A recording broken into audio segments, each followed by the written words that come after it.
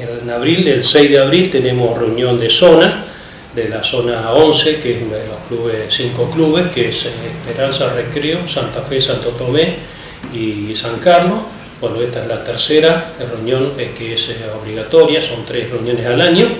La primera se hizo en Santo Tomé, en la casa de, de la jefa de zona, la segunda en Recreo y ahora la tercera se hace aquí en San Carlos Centro, el sábado 6.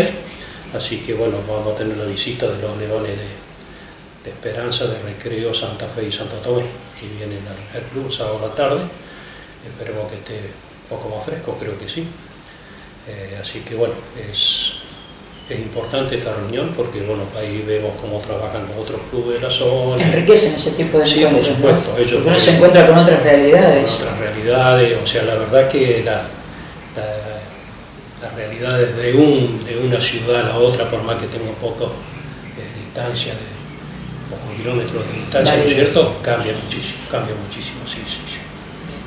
Diríamos que acá en San Carlos somos prácticamente un lugar privilegiado porque, como te dije hoy, eh, la gente colabora muchísimo, eh, incluso la municipalidad, las empresas, todos siempre, cuando necesitamos algo, siempre están, siempre están ellos.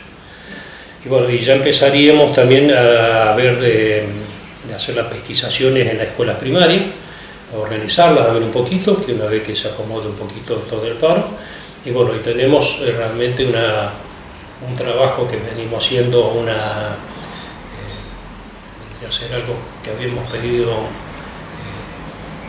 eh, comprar y poder tener, que salió una subvención de, de los, eh, de la Fundación de Leones, que era una adquisición de un pesquisador nuevo, de alta te- tecnología, es alemán, bueno, y la verdad que, que va- ya, ya lo tenemos gracias a la Municipalidad de San Carlos Centro, que hizo un aporte millonario, eh, realmente es así, un aporte millonario Si para los decirlo. leones.